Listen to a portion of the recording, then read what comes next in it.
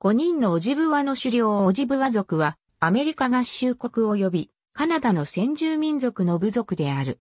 アメリカ合衆国ではチェロキー族、ナバホ族に次いで3番目、北米全体でもクリー族に次いで4番目に大きい人口を持つ。オジブーエ族、オジブーエ族、チッペワ族としても知られる。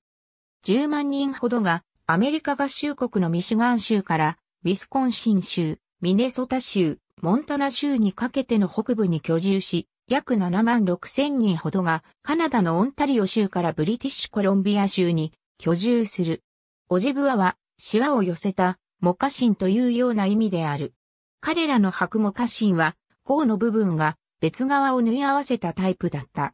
彼ら自身はアニシナーベ族と自称し、これは野生の人々という意味である。他の北東部族と同様、白人入植者との圧力で西方へと領土を移動する歴史の繰り返しだった。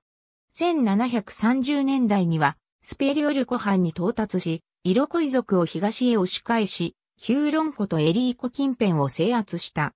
水族とはその後も長きにわたり敵対し、これを任した唯一の部族となった。